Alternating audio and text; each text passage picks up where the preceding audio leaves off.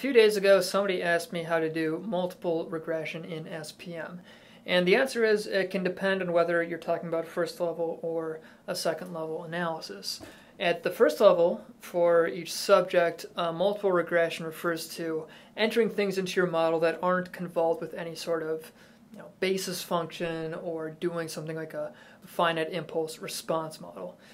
Now, in SPM, they make a distinction between conditions, which usually are convolved with some basis function, and regressors, which are not. They're basically entered into the GLM raw, like as they are.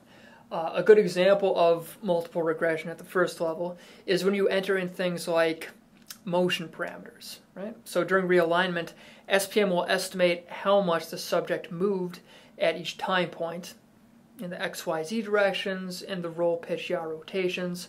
It will write out each of those into a separate column into a text file, and then you can enter that into the GLM uh, as a multiple regressor file. Basically, that tries to account for any variance attributed to just motion.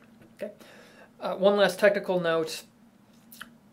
You know, when we do first level general linear models, really that is a form of multiple linear regression. We're just trying to see whether the time course of our data can be accounted for or fit by a model that is a summation of different regressors and beta weights.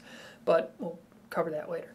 So uh, in MATLAB, what we're going to do is within a first level analysis, and here I'm just going to load up something which already has all my scans, all the specifications are already in there. Uh, so we've covered multiple conditions and how we entered those. We have a, a, a .mat file where we put all that stuff in. Now under multiple regressors, let's say that you know for this one run, this one session in SPM parlance, we have a text file which has six columns, each one with a different amount of uh, say movement in the different directions. So there are going to be six columns and each one corresponds to a different direction or a different rotation, right? So if we run that, what we'll see once it gets done estimating the, the model is that the leftmost columns are going to be our conditions or things that were convolved with a hemodynamic response.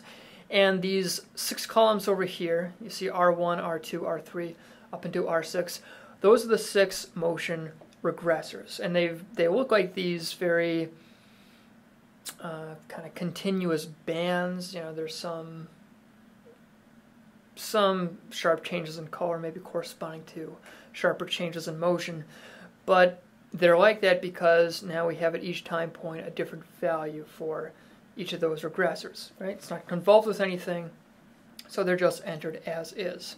Okay.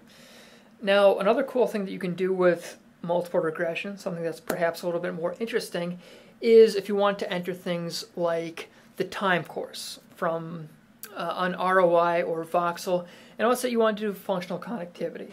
Or maybe you're doing something called a, a PPI, psychophysiological interaction, which requires that you enter stuff into the model as regressors. Specifically, once you've done all the preparatory PPI stuff, you get an interaction term and then you enter that into the model as a regressor. You don't, you don't convolve it with anything. So let's just say that we had, say, a simple time course, and the most important thing, uh, you know, I, this isn't an actual time course, I haven't really grabbed one, but I'm just going to simulate one by just taking 238 random time points, okay, because there are 238 time points per run.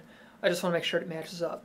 Uh, the important thing is you got to make sure that you, you know, this can have as many columns as you want. It could have three columns that's fine, but make sure that you assign it to a variable called r. Yeah? And then once you have that, you can save that to a mat file. This is the syntax, the name of the mat file, and then in single quotes, the name of the variable, right? Once we have that, we can actually load that up into our multiple regressors. Okay. So same thing as before, same scans, same defaults, everything. That's all fine. But now under multiple regressors, instead of those motion regressors, I'm going to use this timecourses.mat, which has that R variable saved in it. And the R variable has three columns in there.